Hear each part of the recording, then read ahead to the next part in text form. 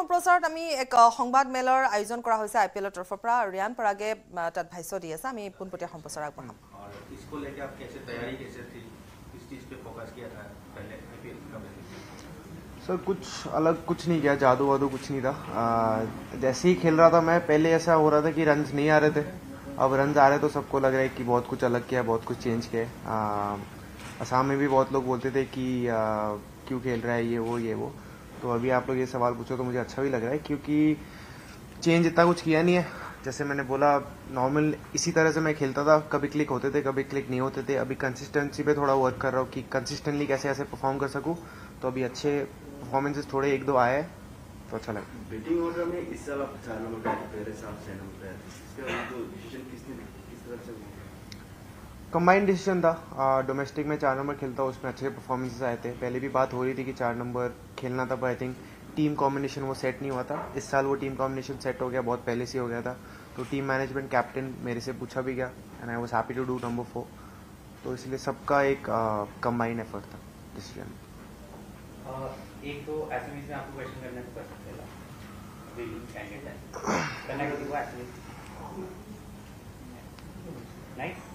আপুনি ঘৰুৱা পৰিৱেশত এইবাৰ খেলিব গুৱাহাটীত আপোনাৰ নিজৰ চহৰ যিসকল দৰ্শক থাকে তেওঁলোকে আপোনাক যথেষ্ট উৎসাহিত কৰিব। তেওঁলোকক আপুনি কিবা মেছেজ দিবলৈ বিচাৰিব অসমৰ দৰ্শকসকলক। মই এইটোৱে কৈ আছিলোঁ যে মই সেইটো ভাবি গ'লে আকৌ মোৰ উল্টাটো হয়। বুজিছেতো সেইটো ভাবি যদি মই সেইটোৱে ভাবি থাকিম যে অঁ মোক মানুহ চাব আহিছে অঁ মোক ইয়াৰ মোৰ ফেমিলি ইমানখিনি আছে মোৰ লগৰ ইমানকেইটা আছে তো মই সেইটো ভাবি থাকিলে মেটছত ফ'কাছ নহয় বেছি। মই একো ভাবিয়ে থকা নাই। যোনে মেটচ চাব আহিছে সিহঁতি আহক মেটচটো এনজয় কৰক। এনেকৈ মই এইটো ভাবি থকা নাই যে অঁ মোক চাব আহিছে মোক চাব আহিছে। সেইটো ক'লে অলপ দিগদাৰ হৈ যায়। মই খেলাখন খেল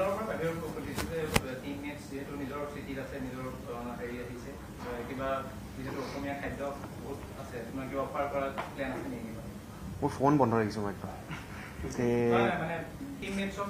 আমাৰ টিমমেটছত আমি বহুত দূৰত আছোঁ একচুৱেলি কিন্তু যিখিনি পাৰিছোঁ যিখিনি মানে মই ইজিলি এভেইলেবল তাৰ ওচৰত সোণাপুৰৰ ওচৰত অলপ চলপ দি আছোঁ। কিন্তু তাৰ বাহিৰে ইমান কৰিব পৰা নাই পাৰ গাহৰি আমাক কেইটামানে খাই ভাল পায় এতিয়া গাহৰি অলপ কেইটামান অনাই দিছোঁ আৰু বাকী বাকী এনেকুৱা নাই। এই মাজত এইকেইদিন যে অফ পাম বহুত কেইটামানে কামাখ্যা যাম কৈ আছে কামাখ্যা যাব কিছুমান আমি কাজিৰঙা যাম ভাবিছোঁ। তেনেকৈ খাদ্যতকৈ বেছি তেওঁলোক চি চাম চাইট চিং আই থিংক সেইটো এবাৰ কৰা হ'ব।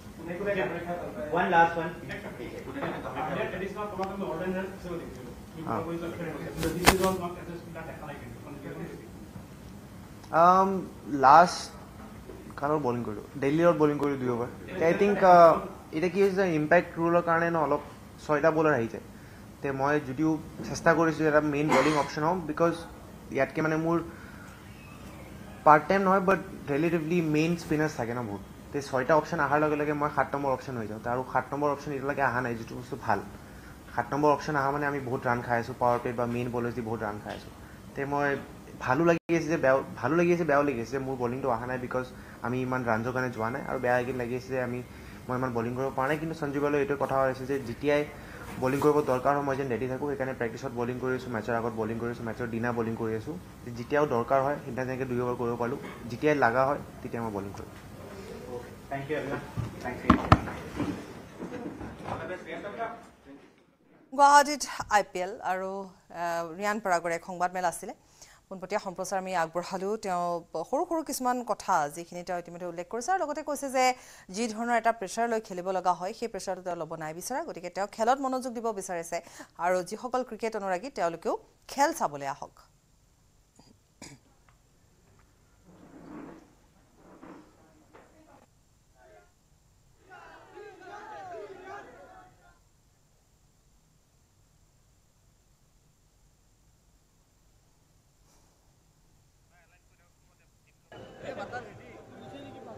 ৰাজস্থান ৰয়েলছৰ তাৰকা বেটছমেন হৈছে ৰিয়ান পৰাগ। আৰু ৰিয়ান পৰাগে ইতিমধ্যে উল্লেখ কৰিছে যে তেওঁলোকে অনুশীলন কৰাৰ কথা তেওঁ উল্লেখ কৰিছে। সকলোকে তেওঁ ওলাই আহিবলৈ বা তেওঁ ক্ৰিকেট চাবলৈ তেওঁ আহ্বান জনাইছে। ক্ৰিকেট খেলক তেওঁ লগতে কৈছে যে এনজয় কৰক স্ফূৰ্তি কৰক গতিকে তেওঁৰ ওপৰত যাতে সেই ধৰণৰ এটা চাপ নাথাকক কাৰণ সেই চাপ থকাৰ লগে লগে খেল বেয়া হ'বলৈ আৰম্ভ কৰে। গতিকে তেনেধৰণৰ চাপ তেওঁ নিজেও ল'ব বিচৰা নাই আৰু অন্য তেওঁক নিদিয়াটোৱে তেওঁ বিচাৰিছে। আৰু যিয়ে নহওক আমি পুনৰ এবাৰ উল্লেখ কৰিছোঁ ৰিয়ান পৰাগে যিহেতু তেওঁ ঘৰুৱা ভূমিত খেলিবলৈ আহিছে গতিকে তেওঁ ঘৰুৱাভাৱেৰে সকলোৰে সৈতে কথা পাতিছে। সংবাদমেলৰ পোনপটীয়া সম্প্ৰচাৰ আমি আগবঢ়ালোঁ য'ত আই পি এলৰ অভিজ্ঞতাৰ কথা তেওঁ ক'লে।